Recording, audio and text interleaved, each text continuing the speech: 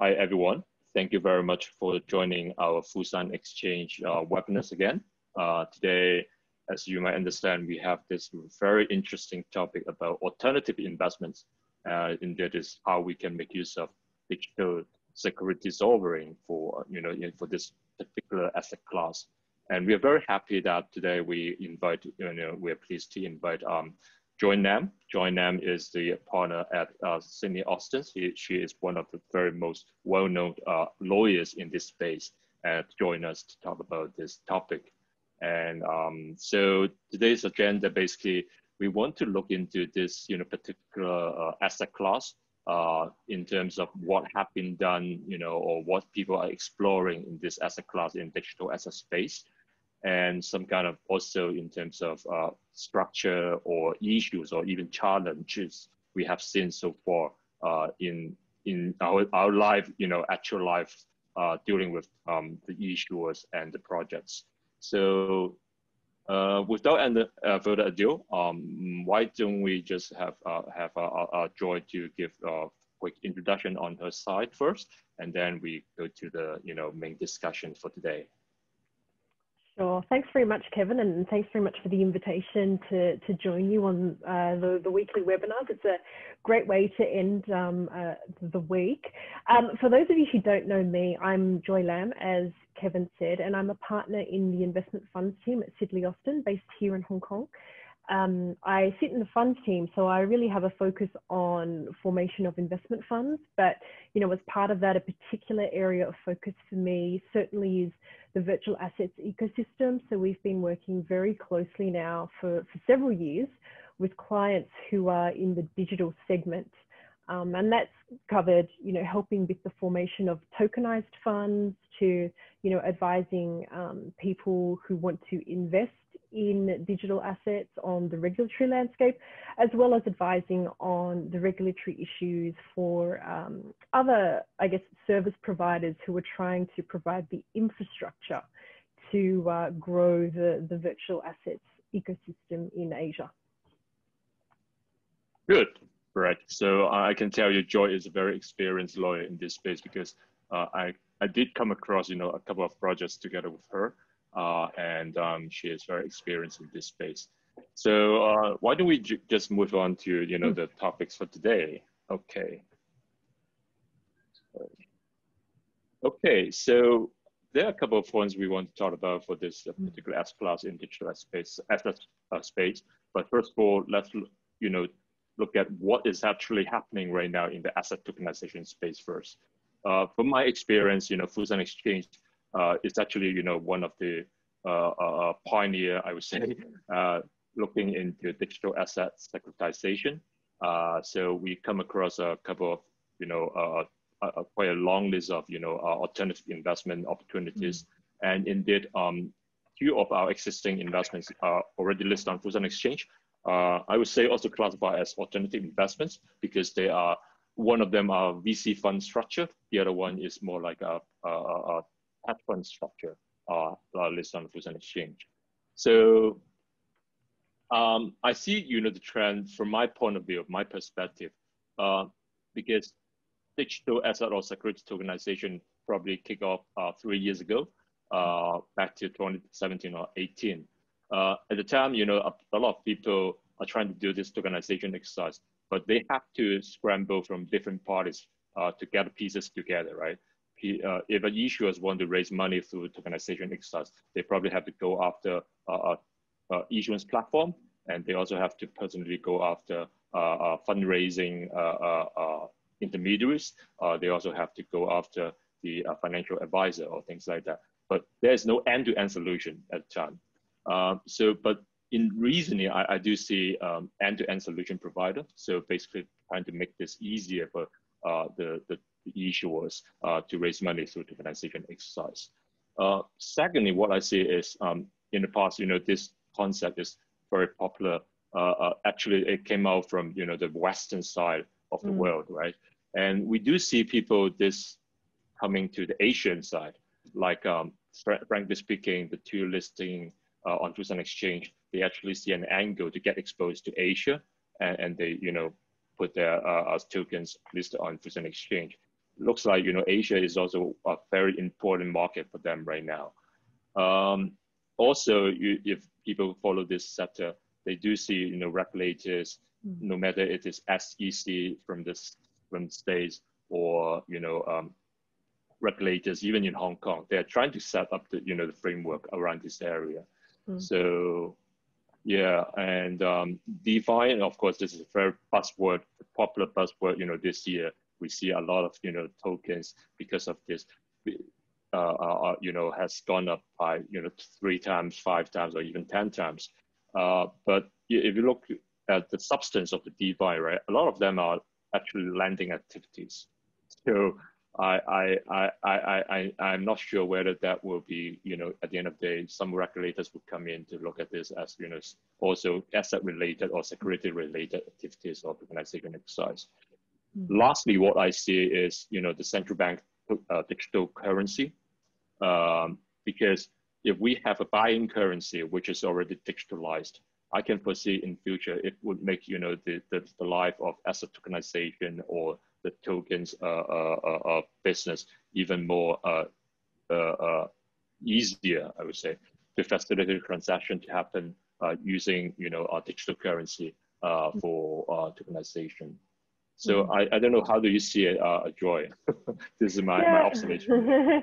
Yeah, look, I think you know the the experience that we've had certainly, I think is is pretty consistent with that. I mean, I think despite the fact that particularly here in Hong Kong, you know, we've had a lot of challenges in the last 18 months between you know some some uh, political unrest and then and then the virus. But you know, throughout all of that, I think the the interest that we've been seeing from people who are wanting to explore tokenization and, and other transactions in the kind of digital ecosystem has been very strong. It's been quite robust and it really hasn't been affected, I think, in the same way as we've seen more traditional transactions um, being affected by those sort of macro factors. So I think, you know, there's definitely a lot of interest um, and a lot of eagerness for, for people to, to utilize blockchain and, and really try to give people um, access to, to more assets and also, you know, increase the investor base. So I think, you know, there's definitely a recognition quite generally,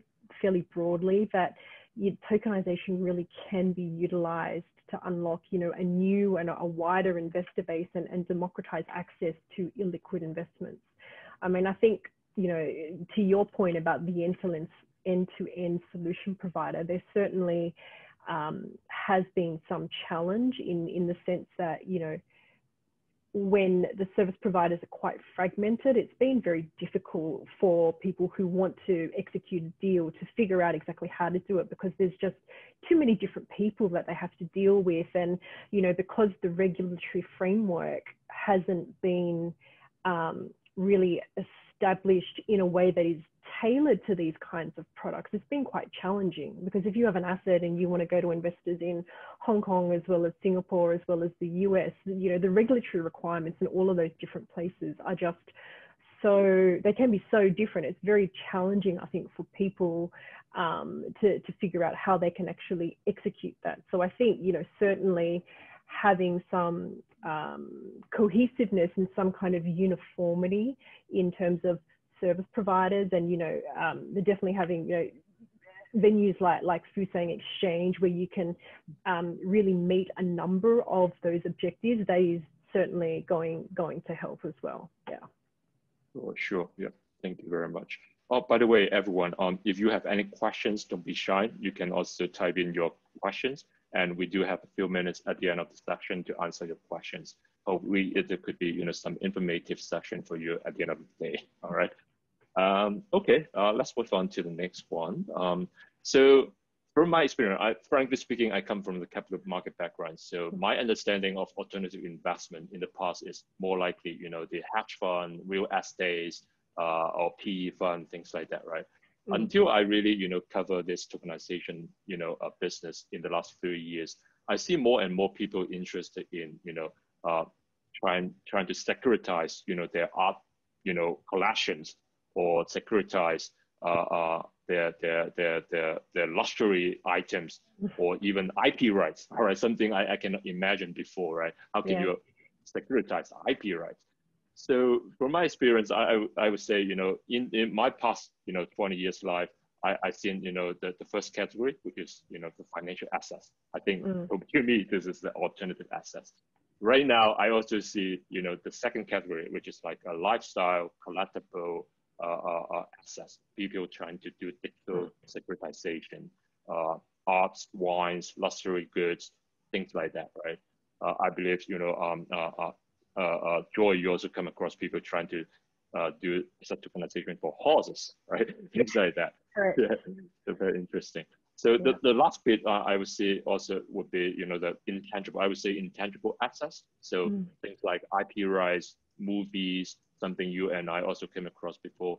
Uh, mm. Celebrities, you know, in terms of uh, how people making money out of their cash flows mm. uh, and carbon credits, things like that. So I think this is quite interesting. Also expand my perspective in terms of what alternative investment could be. Yeah, yeah. yeah. I, I, I mean, I think you know the the use of blockchain really is just opening up such a wide wide range of, of new asset classes that people probably never really thought about investing in before. Um, I mean, you know, real estate, you know, based on what we've seen, like real estate by far is sort of the the most um, the most common one that we're coming across because obviously it's tangible. You know, everyone everyone knows it, everyone understands it, and it's something that traditionally has always had very um, strong interest in from an investor perspective. But at the other end of the spectrum, we really have seen some um, exotic, I guess you would call them, assets, like some of the things that you've um, listed there. But you know, we've also seen like things like um, cigars and solar panels and renewable energy. So I think, you know, working in this space, one of the really interesting things really will be to see like where, where does it go from here? Like what are, you know, how much broader, I guess, does the, the horizon um, expand to? And, you know, as a side note, I know that the, the 2020 Knight Frank um, wealth report has like a specific section on investing in Hermes handbags and you know i've had people come to me talking mm-hmm. about setting up funds for all sorts of things but no one has ever come to me to say they want to set up a fund um, you know tokenizing investments in birkin. So if anyone watching today is keen on that come and speak to me. I'm definitely happy to collaborate on that. Good for ladies. Right right. Yes so very interesting. Um, it's a good perspective for me to expand my my understanding as well. Yeah um, so I, I, I, come across this transaction on this project. So I basically see some basically pros and cons uh, in terms of alternative investments. From, from my experience, I see, you know, I also come from, you know, portfolio manager background, right? So it, alternative investment is actually good uh, uh, uh addition to traditional investment like stocks or fixed income because the correlation between the traditional investment and alternative investment is less so high. So you basically achieve the diversification, uh, uh, a risk diversification, you know, objective. And um, also, you know, to be honest with you, some of this alternative investment come with high risk and mm. also they will be high return. So mm. there is you know, some kind of equation like this. Uh, but on the other hand, when, when we look at, you know, alternative investment, one point is very tough um, for people to, to get very comfortable is how to value it, right? Mm-hmm. Unlike stocks, unlike fixed income, fixed income, you you know, at the end of the day, if after one year, you, you, just get back your face value, your principal. So this is the valuation. Uh, stock, you know how to value it because all these multiples and, and business perspective. But like a art piece, right? I don't know how, how, how to value, you know, a, a piece of art to be like a hundred million or 50 million or even just, you know, $2. So mm. it's very judgmental and how and, and whether you know when people say I, I I'm doing the valuation for this art piece, how do you know this person or the valuer is qualified doing this and giving the mm. opinion and and not only you would take it, but the most importantly is your willing buyer would take it, right? Yeah. Otherwise, it, it doesn't work, right? So yeah. this is how I see it is a very important part um, we need to see. Um, yeah. Also, sometimes you know the, the liquidity is quite is very thin, very thin for, for mm. alternative investment. Um, the, the liquidity for real estate transaction, we can see like in Hong Kong, we see a lot of mm. people like, you know, bricks and uh, mortar, right? Um, the, the, the, the, the, the, the transactions are we are talking about probably uh, tens thousands, you know, a year. But this kind of liquidity is probably not imaginable in an up-piece investment, all right? Mm. Because uh, uh, the, the, the, the, people education still, you know, lacking of the education to how to, to trade this kind of investment. But this is something, you know, could, could be some very difficult um, for some willing investor to get comfortable with. Uh, yeah. Lastly, I also see because uh, this sector, you know, the um, alternative investment, like uh, even today, I can tell you, gold, gold is still an unregulated market. Mm. All right, so even gold has been around for a few decades, long, long time, but it is still unregulated. Not to say about art pieces or uh, luxury watches, uh, things like that. So these are, you know, some of the things I, I encounter when people uh, come to me uh, talk about, you know, the uh, this kind of investment. Yeah, yeah, I, I, I yeah. Look, I, I think that's right, and you know, I mean, I think valuation in particular has been quite challenging, and I think, you know, part, part, I mean, that is probably one of the reasons why in the in the transactions that we've seen anyway, that we've been working on and talking to people about, more of those transactions relate to assets or asset classes where there is some kind of way to independently verify value. So, you know, real estate obviously much easier, but even things like whiskey, you know, there is a specific index. And so for, you know, I think some types of assets where there is some kind of benchmark out there that people can use, that makes it a little bit easier. But for other things, um, you know, it can be a, a, real challenge. And depending on how that transaction is structured, it can, it really can be a deal breaker because from the investor perspective, you know, it's very difficult for them, I think, to, um, to get comfortable in terms of how those, those um, valuations are, are, arrived at, particularly if you know it, if it is structured as a fund, perhaps, and there's someone taking a management fee based on the valuation of that, then that makes it just I think it compounds the difficulty that you have with um, with valuation for illiquid assets. Mm-hmm, mm-hmm. Yeah, that's right. That's right. Um, so when it comes to structure, right? Um, my experience is uh, there are different type of you know investment structure we can make mm. but typically it would come under these four categories to me mm. like you know equity tokens bond tokens fund tokens and utility tokens right uh, this is the typical structure um, I, I, I would see people trying to do this but I, I do see people using because when, when we say tokens right tokens mm. how do how do we tie the tokens to the uh, to the assets mm. is something uh, we don't have you know experience before, uh, and we do see people using different approach to tie this relationship between the assets and and the tokens. Like you know, in the very old days, I see people using just contractual agreements or relationship mm. to tie this to, uh, uh, underlying assets uh, to the tokens. And um, to be honest with you, on Fusang Exchange uh, perspective, we we we we are more keen to see a direct relationship between the ownership and the token. Mm. And that's why, honestly speaking, our Fusang Exchange, our own tokens, uh, we are using uh, uh, uh, uh a direct uh, token issuance, which replace the share certificate. So mm. our shareholders are not taking the share certificate. What they take is share share tokens directly. Mm. So mm. this is a that so people just get you know direct exposure to the uh, equity interest plus mm. whatever economic interest out of the company.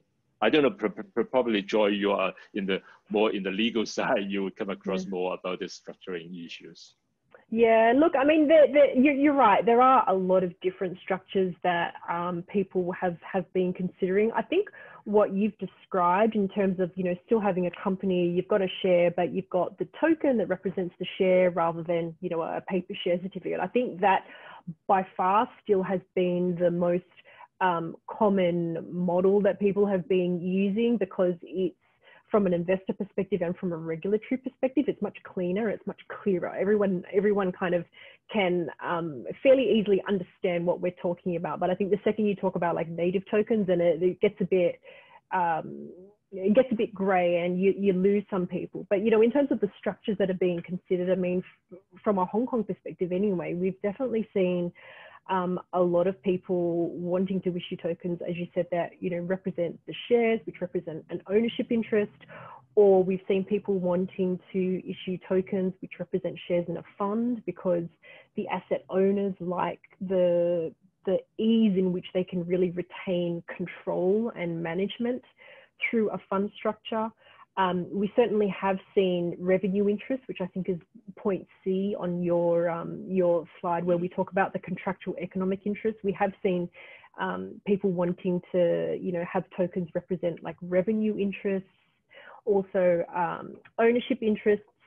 In, relation to, to bonds, um, and I guess, you know, debt in general, we've seen that, but that really has been limited more to real estate. And I think again that just goes back to, you know, the the um, suitability and the the stability of the underlying asset. But I think in in terms of like the more exotic asset classes that we're talking about, the, the, the, deals that have been structured are, more looking at either revenue interests or um, equity, like ownership interests, not so much any kind of debt um, and I think the only other thing I would add in terms of structure is that, you know, up until now, a lot of the transactions that we've seen um, executed or that we've worked on anyway have been using Cayman structures because, you know, Cayman law, um, it's, it's technology neutral, right? And it provides a lot of flexibility for people. And that's why Cayman vehicles have always been so um, popular in, in transactions um, of all kinds, really.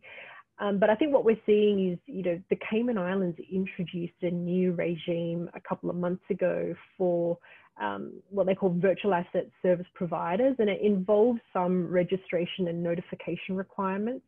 Um, and in some circumstances, it can include a, a cap basically on the total amount that can be raised. And that hasn't actually commenced yet. And, you know, there's still I think the market in general is waiting for more guidance from the regulator about how exactly that is going to be enforced and when it is going to become effective. But I think, you know, in terms of structures, it will be interesting to see once that actually that regime in the Cayman Islands actually is introduced. It will be interesting to see how that affects structures and whether people start actually moving away from Cayman or whether you know it's it's implemented in a way that can facilitate the continued use of Cayman vehicles.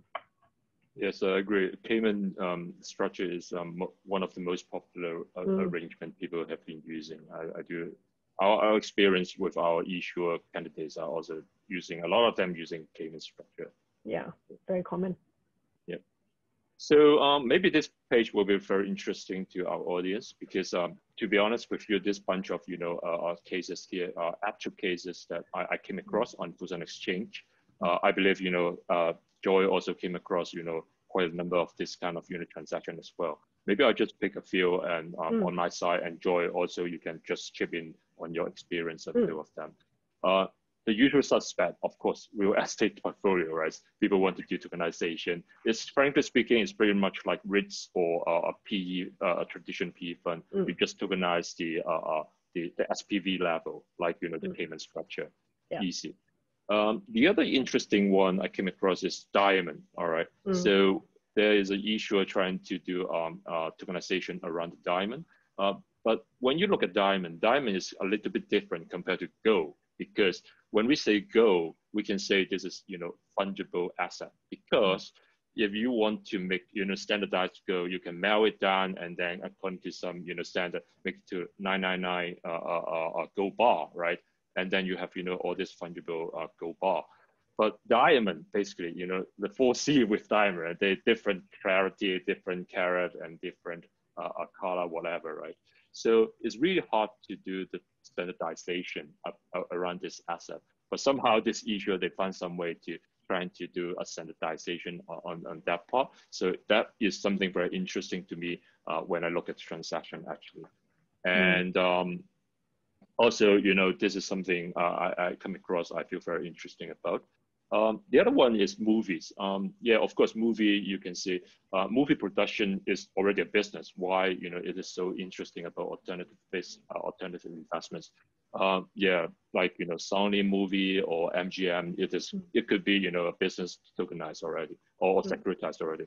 But what we see is people also want to tokenize uh, a single movie production. All right, mm. so in, in a way that um, they, they want to raise money from the token holder, uh, not only just to share the economics out of that you know production movie production, but also uh, to give them some you know additional benefits like a utility token uh, in terms of like uh, people, uh, the token holders can get a chance to go out for uh, for for dinner with celebrities, right? The, the actors or the actress, or they even get you know the movie tickets for for for for the opening you know uh, uh display. So this is something very interesting. We see we can combine you know the uh, economic interest together with some mm. utility uh, function of mm. of the of the transaction. Mm. The other one is I also came across this art collections, right? We actually yeah. came across, you know, a few of these art collectors. They're trying to tokenize their their, their art collections, right? They believe um, they can even they, one of them is actually a, museum, all right. Although although it is an NGO type of museum, they they, they want to see whether they can, you know, uh, do something about, you know, uh, getting some uh, uh funding through the cash flows uh, or backing of the uh, underlying assets so that they can use the fund to expand, you know, that the museum. So this is something very interesting when, when I come across this transaction like this. Mm. Uh, I believe, Joy, you also have very exciting experience about this transaction. Yeah, look, I mean, the the the uh, the first one we did was was of course, as you know, the the whiskey fund, um, HCS Whiskey Fund, which closed back in January, um, and you know they're, they're expecting to be listed, I think, pretty soon. Um, you know, I think for us, like uh, in terms of funds, right? We before blockchain, before all of this, you know, tokenization stuff became very popular. Um, we had worked on a couple of funds which were focused on um, investing in like uh, alcohol, rare wines, things like that. Not many, but you know, there were sort of the occasional funds that popped up like that. So I think, you know, in some ways, like for us, a fund that's focused on, um, you know, casks of rare whiskey is, you know, obviously quite unique. Um, not not really not really that common, um, but in a sense, not a huge leap from some of the things that we had seen before. Um, but you know, at the end, other end of the spectrum, I mean, we do have people who are we're actually working at the moment on um, funds which are involving um, racehorses, as we've said. We've got another one that's um, uh, investing in um, cigars. We've got one that's investing in um, artwork. one that's investing in like solar panels and renewable energy. So there's just you know, it's it's really just such a broad mix of different things. I mean, honestly, the only thing missing is Birkins. So, some, someone needs to someone needs to fill that gap. well, we need someone to know how to verify this is a gender yeah. with Birkin. Correct. right, right, okay, very interesting. Uh, okay, uh, well, given the time, I, I, I should move faster. Sorry about that. Um, yeah. So I think I also cover a bit of this concern mm. before. Um, so basically, we see some transaction they they they don't tie the equity interest to the economic interest, all right, even though it is a secret token. Uh, most importantly, the second point is people's understanding. I think a lot of investors still do not quite understand basically the underlying assets, not to mention about tokenization, right? Yeah. So that that is another layer, layer you know, a blockage to them to, to, to yeah. make an investment in this space. Uh, valuation concern we just mentioned, uh, apparently price volatility. This is, you know, this kind of assets class could subject to high price volatility and the counterparty risk, like you know, because it's unregulated, you know, uh, uh, territory, so the counterparty risk could be quite high. So yeah, uh, yeah. Yeah. Um, yeah. Anything to add, uh, Joy? Uh, no, I was just going to say. I mean, look, def- definitely agree on those, particularly on the um, education point. I mean, I think you know, I had a conversation just today with someone um, about you know, tokenization. And, and he literally, his response was, so you mean cryptocurrencies, right? And I was like, no, no, no, no. yep. tokenization does not necessarily mean cryptocurrency. So there's definitely, you know, a lot of work to be done in terms of educating people and, you know, making them understand that, you know, tokenization of blockchain does not necessarily mean cryptocurrencies and ICOs. So I think, you know, for, for a lot of people, there is still that kind of negative um, connotation, which, you know, there, there's a bit of work, I think, to be done in terms of um, addressing that concern. And I think the only other thing really is, you know, the, the lack of a um, cohesive um, regulatory framework in, in various jurisdictions is also a bit of a challenge.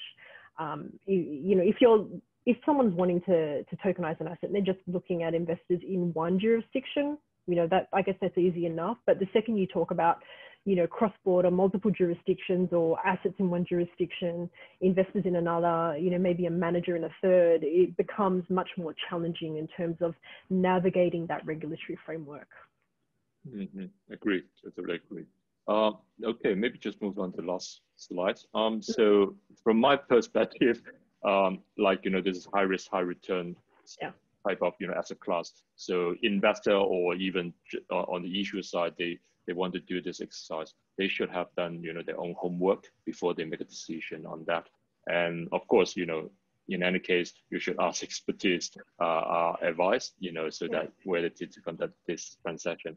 Uh, and um, I, I would also suggest, you know, the other is you, you go find an end-to-end solution provider because mm-hmm. it's like um, uh, very piecemeal type of task you have to get together until yeah. you get to the endpoint. That is not uh, something very easy for you. So go after something which already can provide you one-stop solution. Yeah. Anything yeah. to add? Um, yeah. Yeah, no, look, I, I agree with those points. I mean, definitely having, you know, the, the right service providers and, and people who um, obviously know what they're doing, but also are able to kind of, um, you know, meet as many of those functions as possible because, uh, you know, as, as you've said, having to deal with different, different um, people for, for different functions just incurs a lot of time and, and additional cost, which, you know, kind of defeats the purpose, I guess, of in some mm. ways of wanting to adopt blockchain. Um, and definitely, you know, in terms of like doing research and, and getting advice, like structuring is is really key to making sure that you know you're not wasting a lot of time exploring some option only to find that at the end you, you can't do it because you know for whatever reason it could be regulatory it could be tax it could be something else so i think you know definitely doing the the research and the groundwork up front to really understand exactly what the structure should be and whether or not that actually meets the commercial objective is very important. All right. Okay. Good. Good. Um, we come to the end. Thank you very much. We come to at the end of you know this this session. I know we overrun for a few minutes few minutes already. Um, why don't we? Because we also see a, quite a number of you know questions coming into uh, uh into this uh, Q and A uh, uh, window why don't we just answer like you answer one question, I answer one question before we close this uh, session.